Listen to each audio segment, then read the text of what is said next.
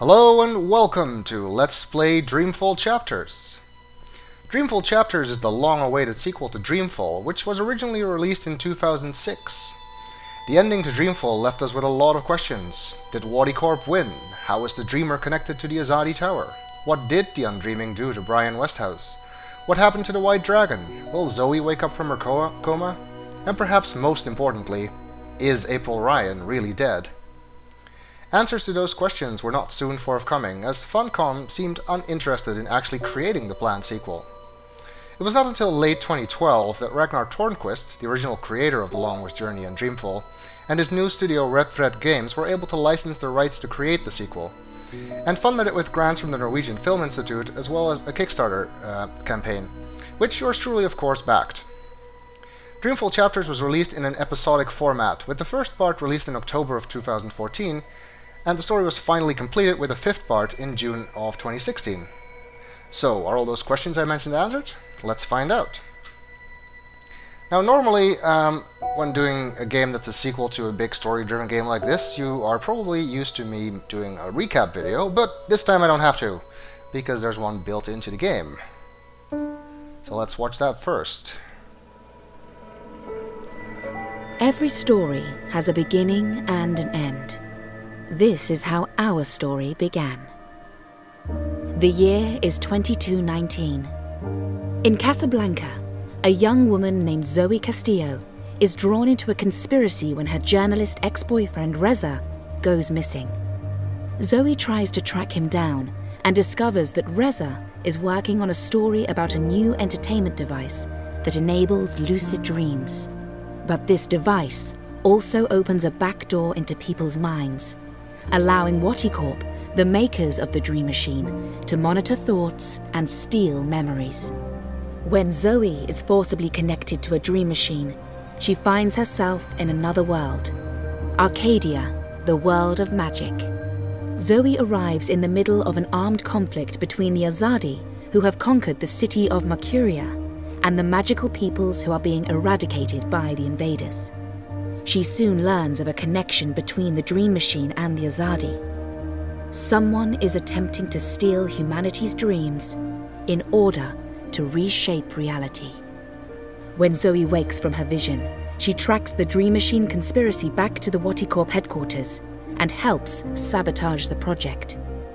But before Zoe can tell the world what is going on, she's poisoned by a woman claiming to be her long deceased mother. Now, in a coma, Zoe travels to a strange and desolate place. Story time. Here, Zoe has the power to shape dreams and help those who are trapped in night terrors escape, but unable to escape herself. Meanwhile, in Arcadia, the world of magic, we follow the apostle Kian Alvane as he journeys from the Azadi homelands to the occupied city of Mercuria on a sacred mission to assassinate the leader of the magical resistance. But as Kian learns more about the conflict between his people and the Magicals, he begins to lose faith in his mission. He finally tracks down the leader of the rebels, a woman named April Ryan, but refuses to kill her. As punishment, Kian is imprisoned and sentenced to death, and April is brutally cut down.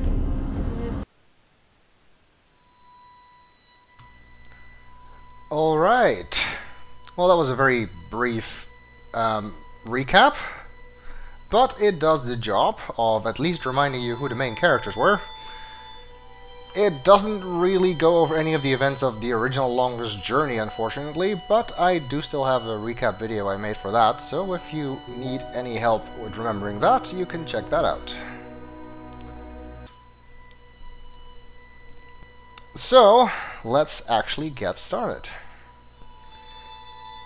And, um, if you've played the entire game, you can actually choose what book to start at, but because I restarted the game before I started recording, it does not let me progress to any of the later book books, probably because it doesn't know what choices I've made. There are actually choices to make in this game.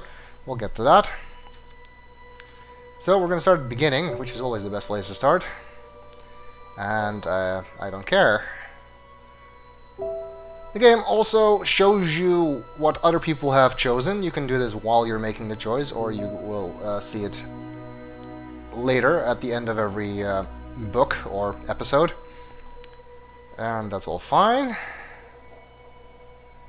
And yes, it auto-saves. There's no way to manually save, which is the worst thing ever if you're trying to make a Let's Play.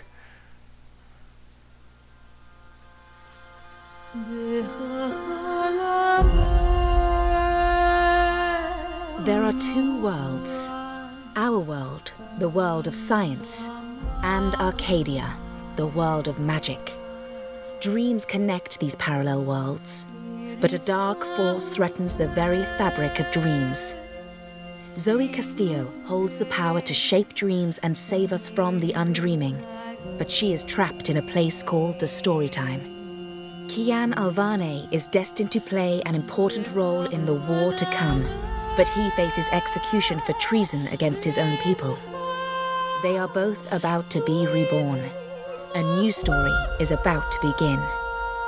Their paths will intersect, and at the end of their journey, they will face the thief of dreams.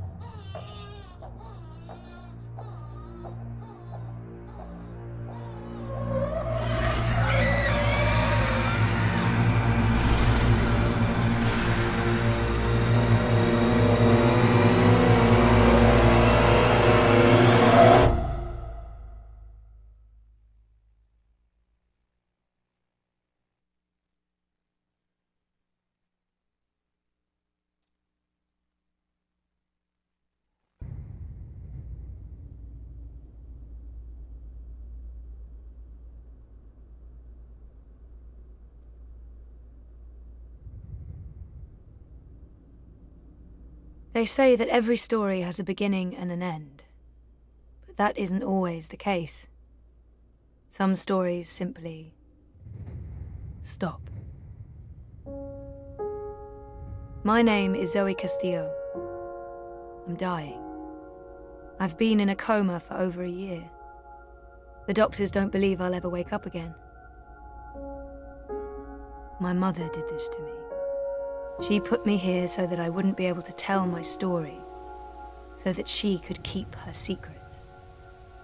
It worked. The world is addicted to dreams, to dream time. It's just entertainment. They have no idea what the dream machine is really for and what it's doing to the world. They don't know that someone is stealing their dreams, using them to reshape reality. So, if I'm in a coma, how am I talking to you? The thing is, my body may be here in a hospital, but my mind. My mind is elsewhere. This is the story time. It's the place between. And it's my home now. This place where all stories begin and end, including mine.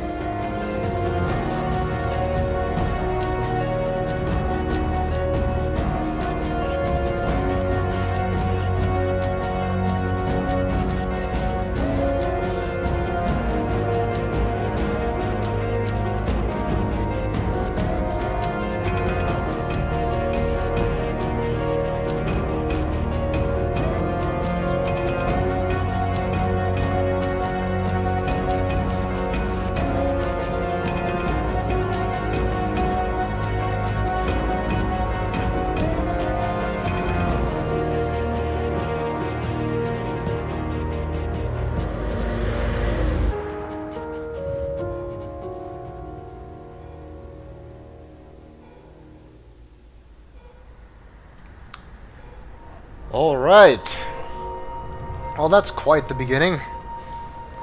I guess the game wanted to get the most important question out of the way first.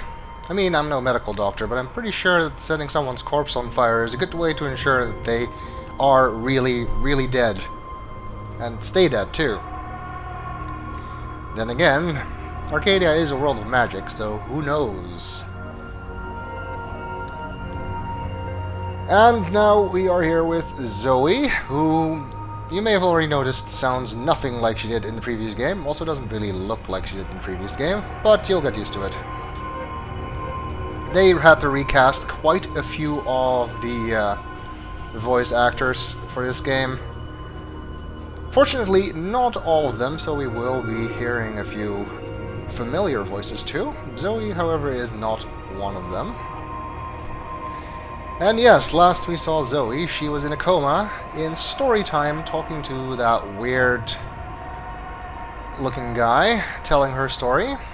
The same guy that we also saw when Brian Westhouse was briefly in story time at the beginning of Dreamfall. And it's definitely a weird looking place, and we can see, I guess, ourselves out in the real world. Some kind of projection, or maybe her mind is able to see what's going on in the real world. Some kind of out-of-body experience. To the extreme, I guess. Pretty strange to see yourself laying in a coma. And the game is telling me how to play, which I already know. Sleeping Beauty. Coma as a fashion statement? No, oh, that's awful. But I honestly do look better on my deathbed. Um, really? I think so. Kind of looking pale there. I can use V to zoom in on things, which I will be doing occasionally, and probably will forget to do most of the time. I don't know if that's how I actually look out there, or if it's just wishful thinking. Everything in here is made of dreams. I guess we'll never know. It's odd. Like looking into a mirror and seeing a stranger. That's me. Beautiful stranger. That's me. Beautiful stranger. Quite a few things here have um, multiple reactions when you look at them. That was taken when Reza and I were still dating. Feels like a different lifetime. And, well, sort of was. Yeah, that was quite a while ago. That's how this whole thing got started, us trying to search for Reza. You may notice the UI of this game is a little bit different than the pre predecessor, and that's a good thing. It's not anywhere near as horrible as that one was. Reza visits a lot. Talks to me for hours. It's good. It's good. Like we're reconnecting. Hmm. But didn't you say in the last game that it's not the real Reza? Did you change your mind, or did you forget about that? But then sometimes, I don't know why, it's like he's a stranger. Like someone's wearing his skin. Or I guess you didn't forget about that. Oh, that's. Oh, that's weird and sick and probably all in my head. Still, I have this vivid memory of the first time he came by, and what popped into my head was that's not Reza. I don't know. It was probably because I thought I'd lost him. I'd spent weeks looking for him. It's how I ended up here, sort of.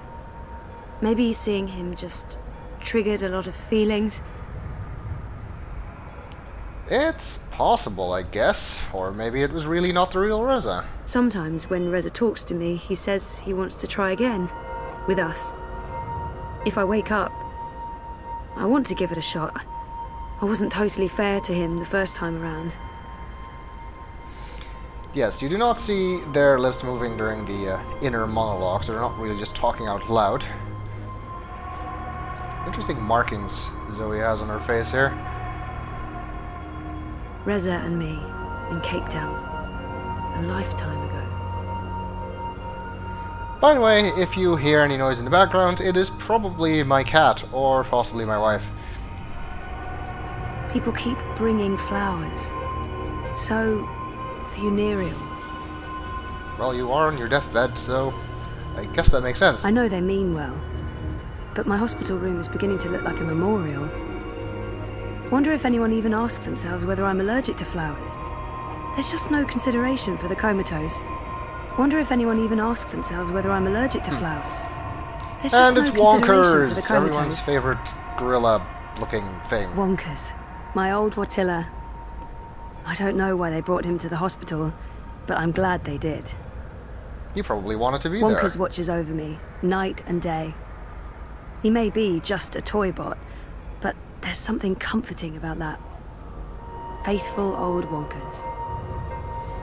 It's nice that there's so many um, lines of dialogue about everything here, mainly because they help you kind of remember things from the previous game.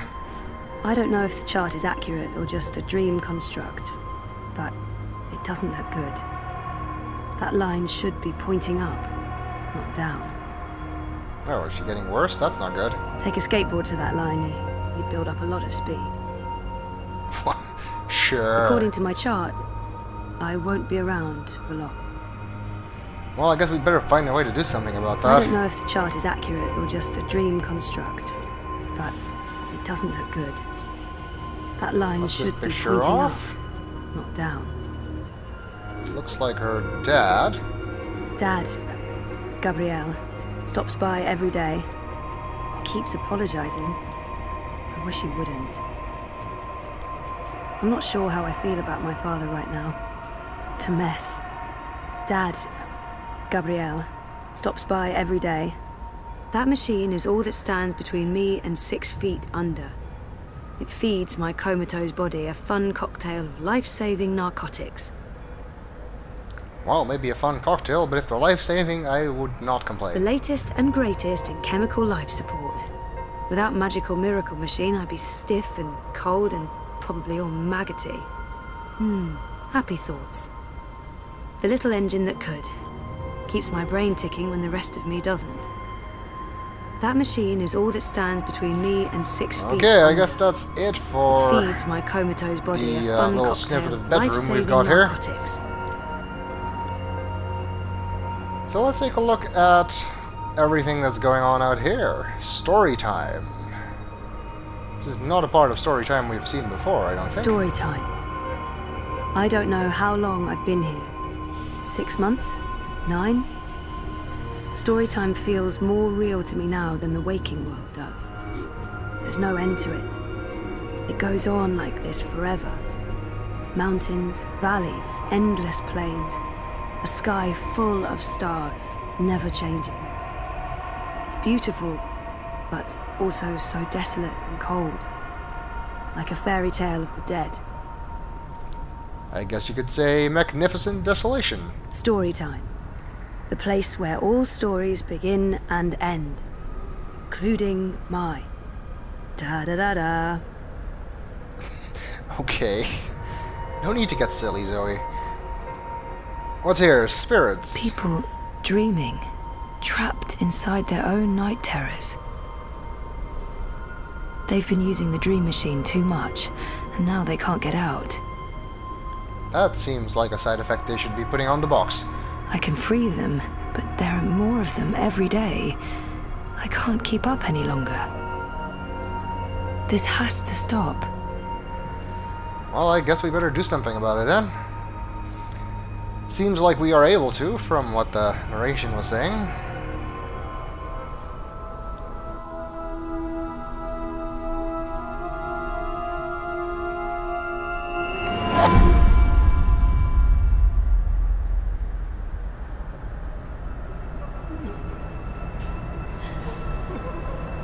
Now the weird thing is, I am pretty sure that this was different the first time I played it.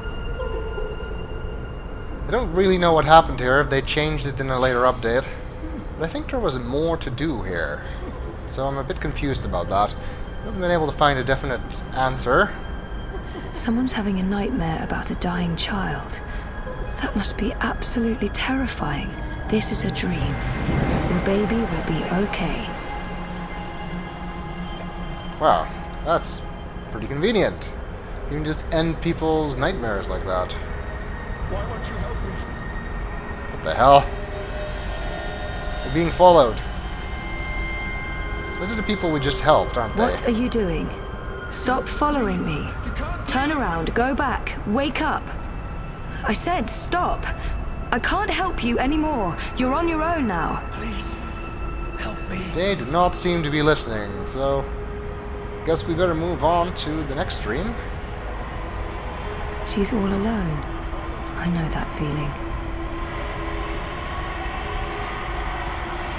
Yep, looks like she's being You're excluded not from the group. alone. There are people out there you can connect with, but you need to stop using the dream machine first. It's not helping you.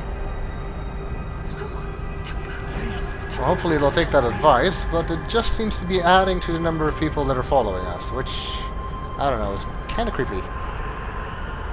Why won't you help me? Trapped, Oh, wow. burned alive. That's a terrifying nightmare. I'd say that again. Probably the worst. You can't leave. Please save me. There's no fire, and you're not dying. It's only a nightmare. You've been using the dreamer too much. It's messing with your head.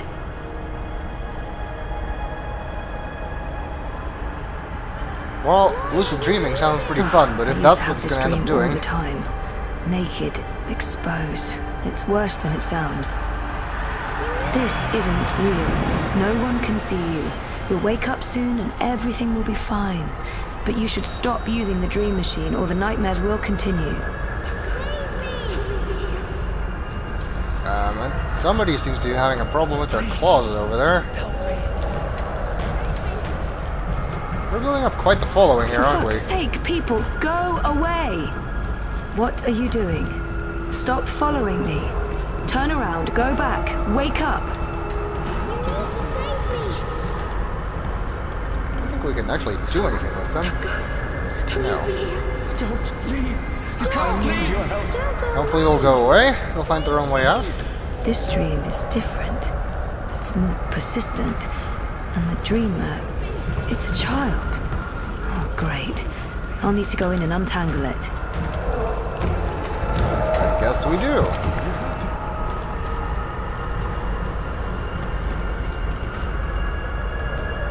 Stop. Don't come any closer. Leave me be. There are too many of you. I can't save. I can't help everyone. Just go away. Whoa. That worked, I guess. But now we are in this dream. And that does not look like a very happy dream, does it? Let's see what we can do for this dreaming girl. Talk to her would be a good start. Don't make a sound. It will hear you. Who will? The monster in the closet. It will hear you and eat us both. She's scared enough already, poor girl. I need to be careful. In this game, every time you hover over a conversation choice, you'll get a little bit of insight into what the character is thinking, which is nice. It gives you a little bit more of a of an idea of what is actually going to happen when you choose a particular option. She's already scared, but she needs to understand how dangerous the dream machine is. I don't think She's that's the time already, for that right now. Let's reassure her. I promise it won't hurt you. You swear? I swear. I won't let it. But you need to get back home. I can't find my way. The way back is through there, through the wardrobe. I can't go in there. It will eat me alive.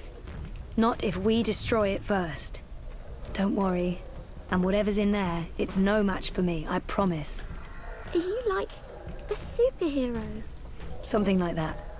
What do you think of my costume? It's really cool. If you look closely, you could actually see the the girl had the little leaf symbol on the front of her head that was the symbol of the dreamer.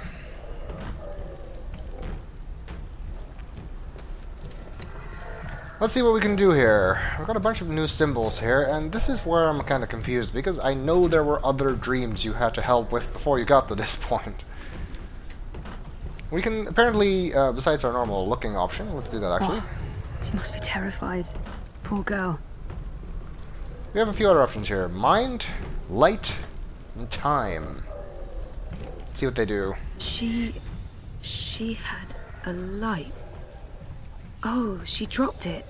It rolled away. She doesn't know where it is. She won't go looking for the light herself. She's afraid of the slithering things in the dark. Hey, who can blame her? Oh, I guess we can read her mind. That's convenient. Oh, we can make her very bright, but that doesn't seem to accomplish much. And we can slow down time. Doesn't seem to affect the monster over there, though. How about the light bulb? Right. Why bother with lampshade when a creepy bear bulb can suffice? Of course, the creepier the better. This bedroom was designed to be as creepy as possible. Spooky by IKEA. Wait, IKEA still exists in the 21st century? Pain. Anger. Sadness. No, of course not. Don't be silly. It's just a light bulb. It's a very angry and sad light bulb, apparently. Ah, that light's too weak to have an effect on Mr. Great Old One. That's no good. And that doesn't accomplish anything. I guess we're gonna have to deal with the monster itself. That's one disturbed wardrobe. I'm glad this is not my dream. I'd be absolutely terrified. It had to be tentacles. It couldn't be, I don't know, a dream about a wardrobe filled with bananas. Bananas? Sure. Could be terrifying, I guess. Bananas. That's the best you could come up with, Zoe. Knock knock. Who's there? Cthulhu. Cthulhu. Who? the horror! Yeah, you're going bonkers. Somebody had way too much fun writing all these lines. That's one disturbed wardrobe. I'm Let's glad this is not its mind, I guess. not peeking inside that thing's head. I've made that mistake in the past, never again. Or not. Can we drive him away with light, maybe? Light could work, but I don't think there's anything to draw on there. That thing is darkness, through and through. It would need to come from somewhere else. Um, well, we already saw that we could make the light bulb brighter, but it didn't work. We could make the girl brighter, but it didn't work. But reading the girl's mind, we saw that she had a light, but dropped it somewhere. Well, I don't see it anywhere, but underneath the bed seems like a logical option.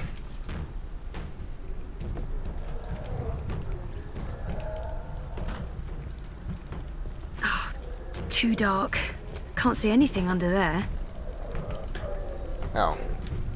Well, that's helpful. Hmm, batteries will need replacing soon, but no, nothing in there. Well, Bingo. we can turn it on remotely. That's helpful. Bringer of light. Emissary of electricity. The mighty torch. It's the flashlight. Or torch, if you will. We can examine things, look at them in detail, and there's a cute kitty on the side of this one. Torch. Flashlight. Beacon. Yep, that about sums it up. I'm up. quickly running out of ideas. It's a torch. It projects a light beam. It's used to penetrate darkness, like a broadsword of light. Fighting. Darkness dragons. Oh, I give up. Apparently, Zoe's not good at describing a flashlight. Let's use it. Turn it on. And walk around. Uh, oh. It ran away. It had to be tentacles. It couldn't be, I don't know, a dream about a wardrobe filled with bananas. Uh, It's hiding. Stupid, smart tentacle thingy. It's too quick for me. Well, it just so happens we have a way to slow down time. There we go. Yeah, it's working. Cool. That is much No, better. Don't get too close. It will take you. You're safe now. Thank you. But I don't know how to get back home. I don't know where my mummy is. She's on the other side of the wardrobe waiting for you. It's. It's scary. Come on.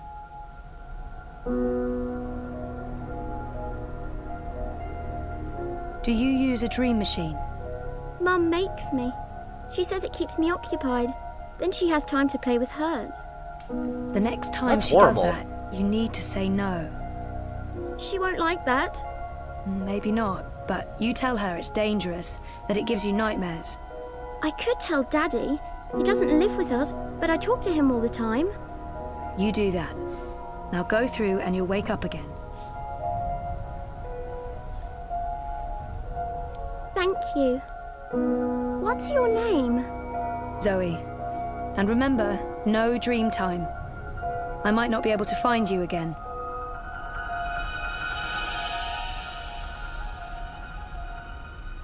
This has to stop. Indeed, it does have to stop. Hey, I recognize that guy. It's the man we were telling our story to before in story time. I guess we'll see what he wants in the next video.